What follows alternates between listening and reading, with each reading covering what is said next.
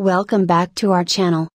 Today, we're diving into the latest buzz surrounding Variety's Actors on Actors series and the controversy involving Kim Kardashian's inclusion. Stay tuned as we unpack the social media uproar and what fans are saying about this surprising pairing. Kim Kardashian's attempt to venture into acting is receiving a lukewarm response from the public. Recently, Variety announced its latest lineup for the Actors on Actors interview series, which bears two notable actors for in depth conversations. One particular pairing, featuring Kardashian alongside Chloe Sevigny, has sparked significant backlash. This year's Actors on Actors lineup includes notable pairings such as Robert Downey Jr. with Jodie Foster, Jon Hamm with Kristen Wiig, Quinta Brunson with Jennifer Aniston, Elizabeth Debicki with Emma Corrin, Joey King with Taylor Zakhar Perez, and the much discussed Kim Kardashian with Chloe Sevigny.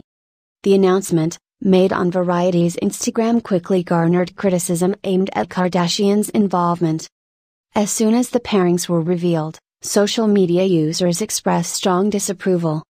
There was widespread sentiment that everything seemed ideal until Kardashian's name appeared, with many questioning her acting credentials and suggesting her presence in the series was misplaced. There was a clear consensus that Kardashian's acting abilities were being overestimated and that her inclusion was inappropriate for a series focused on actors. Supporters of Sevigny also voiced their displeasure, feeling that the acclaimed actor was unfairly paired with Kardashian.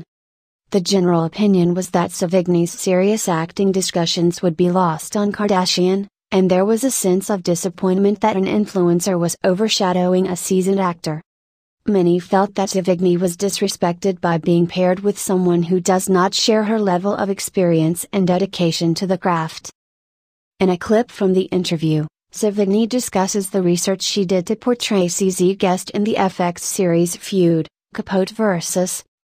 The Swans, which sparked further criticism. Many felt that Kardashian was out of her depth and unqualified to contribute meaningfully to a conversation about serious acting.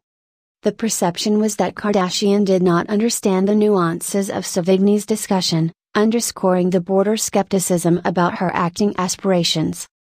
Some took a more humorous approach, predicting that the situation would inspire a skit on Saturday Night Live and suggesting that Sevigny deserved an award for her patience and professionalism.